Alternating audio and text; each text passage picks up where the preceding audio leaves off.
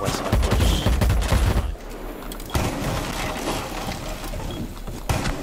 Oh! Oh! His drum is in Got him. Oh, that hall. Yeah. Oh, bro. What's up YouTube, Cheese here, and today's video we're going to be covering how to control high sense accurately on controller in Rainbow Six Siege. So I run 100, 150, so 100 horizontal, 100 vertical, 50 ADS. Uh, it's not the highest sense in Siege I've ever seen, but it is relatively on the higher side of the spectrum. So basically today's video is just going to cover the tips, tricks, drills that I run on a daily basis before I go into ranked games that help me control my recoil, help me stay on target, and just help me control my sense in general. Even if you don't run a high sense, this is still going to be a helpful video for you just because these drills are good for anyone to practice, right? They're good for low sense players, high sense players, medium sense players, and most importantly, your sensitivity um, is completely personal preference. I just want to get that out of the way with before I get a ton of comments asking me if uh, high sense is better. It's honestly just whatever you play best at. So if you play really well at a high sense, then run high sense. You play well at medium, low, that's what you should be running. But anyways, guys, I hope you enjoy the video, and we're going to hop right into some of the tips. First tip we're going to cover, and this is a pretty common one that I see a lot of people do, uh, is one taps for headshots, right? So you go into your terrorist hunt, you can either run through it quickly, you can run through it slowly.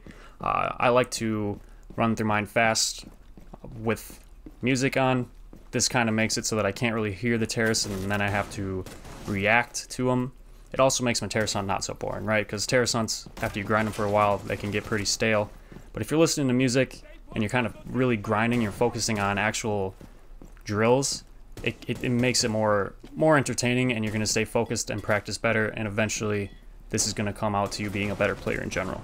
So a lot of people say you have to set your gun to one tap mode. Uh, this is nice, you can do it if you want to. I don't because I like to practice more thing more than one thing at a time. And so what I will do is I'll leave my gun just on full auto regular and I will just use my own controller discipline my own trigger discipline to control the how my rate of fire. So if I want to one tap you know I'll just one tap with my trigger. And then that way I'm practicing trigger discipline and I'm also practicing you know aim. So it's kind of like a nice little thing uh, that you can do if you want to really make sure that you're only one tapping. Because you don't have that trigger discipline then maybe go to one tap mode. Or you can kind of do what I seen Austin do is he runs the FBI uh, pistol. I think it's the USG it's got like a 21 bullet mag and he's just tapping with the pistol. And that way it kind of guarantees that you're only shooting one bullet if your trigger discipline isn't really there. Uh, it's a great way to practice. Thank you Austin for uh, letting me see that in your heads in your T hunts. But next thing, after focusing on one taps and headshots, is crouch shots. So I'm not talking about crouch spamming specifically, because I don't I don't crouch spam. I'm not I don't really see that as being that beneficial. I think people more or less just do it out of reflex nowadays. But the crouch shot. so basically, what I will do is when I'm in a gunfight and ranked, I'll crouch once or maybe twice at the most, and that's just to kind of throw off the other my opponent's aim on my head level. And when I'm playing in a terrorist hunt, the way I practice this is, you know, I just run around the second I see a terrorist, I immediately crouch, and I make sure that I'm still aiming head level. And so because you're crouching, this is going to bring your entire player model down, right? So your entire player model is going to go down, which means your aim is also going to go down. So instead of aiming head level, you're going to be maybe aiming uh, at their chest, at their stomach, you know, lower than head level, which is not where you want to be shooting. So one thing you're going to need to do uh, to ensure that you're still keeping that accuracy is you're going to have to move your right stick up as you crouch down. So if you're hitting your B button, if you're hitting your B paddle, whatever, make sure that you compensate with your aim by moving upwards as you're crouching down. And then that way you'll still be staying at head level and uh, you won't be missing your shots. Next thing, quick peeks. Now this is a pretty common thing in Siege. Uh, it's changed a little bit over the years with the speed at which you can do it. You still can quick peek, it's just not as fast as it used to be. So there's kind of two options that you have when you decide that you want to quick peek somebody. So say they're holding an angle or you know like they're holding a pretty common angle and you just want to quick peek it. One thing you can do is come from obviously leaning left. So say you're peeking an angle from left to right. or right to left. I guess you could either way. But say we're going from left to right. you start by aiming left, you move your feet to the right, and then you lean right. And then that way, you know, you're kind of flicking your head around the corner, and then you bring your feet back to the left, and you aim back to the left, so you're just kind of flicking your head around the corner really rapidly, and so that way it's a quick peek, right? You're not exposed for very long, and you're kind of just pre-firing as you do that to hope you get the headshot. Uh, I, this way is nice because it's really fast, obviously. You're not exposed to the enemy very long, but it can be hard to master and hard to control, especially on a controller. So one thing that I like to do is just a lean from, so starting at middle, and I'll you'll see this quite often when I'm playing Mira. I'll aim, I'll start with my body like on the very edge of my Mira, almost to the point where, you know, I could be shot if somebody sprayed that side, the soft side of my Mira, but I'm not quite there yet. So I start right there, aiming middle, and then I just either lean, if I'm moving to my left or if I'm moving to the right, I just lean in that direction. So after we've covered, you know, crouching, focusing headshots, quick peeking, then I move on to flicks. So something that's kind of difficult on console, especially uh, if you play a high sense, is being able to control your flicks.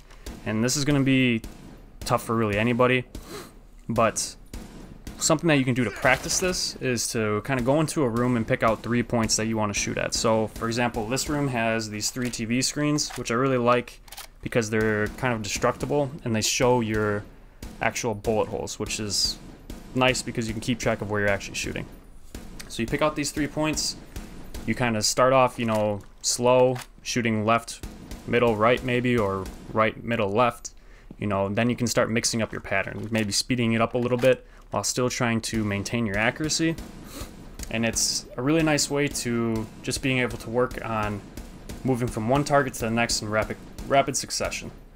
now, if you want to make this a little bit harder, so say, you know, these TV screens, you know, you have mastered this, it's, it's really easy now.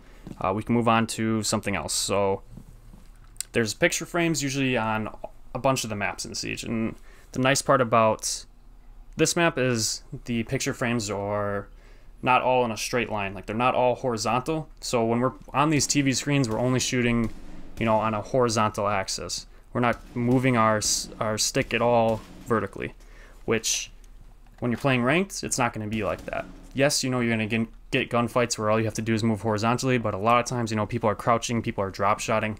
You're going to have to be able to move your stick vertically as well as horizontally.